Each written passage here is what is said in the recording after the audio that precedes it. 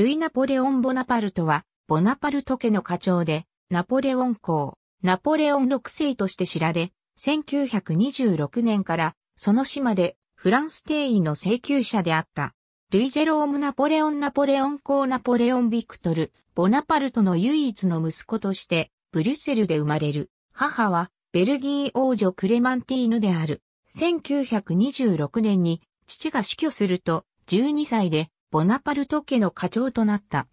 1939年9月3日、フランスがドイツに宣戦布告して、第二次世界大戦が勃発すると、ルイはフランス軍に志願するため、軍に入隊したい旨をダラディエ首相に手紙で打診したものの、軍への入隊を断られた。仕方なく、ルイはルイ・ブランシャールという偽名で、フランス外人部隊に入隊し、北アフリカの植民地で勤務していたが、翌1940年にフランスが侵攻してきたドイツとの間で休戦協定に調印すると、ルイがいた外人部隊は1941年に解散した。外人部隊解散後、ルイはシャルル・ド・ゴール率いる自由フランス軍に参加するため、イギリスに向かおうとするが、ドイツ軍に逮捕される。釈放後も、ルイ・モニエの偽名を使って、レジスタンス組織、軍事抵抗組織に加わり、レジスタンス運動に参加している。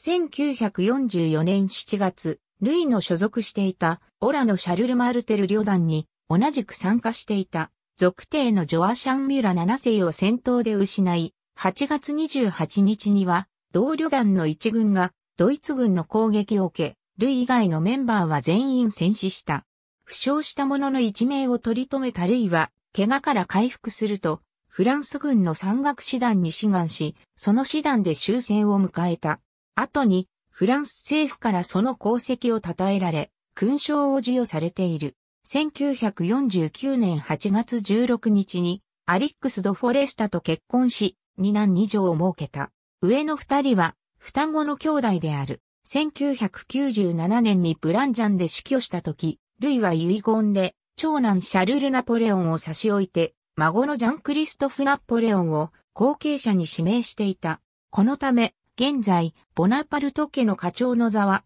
両者の間で、競合状態にある。ありがとうございます。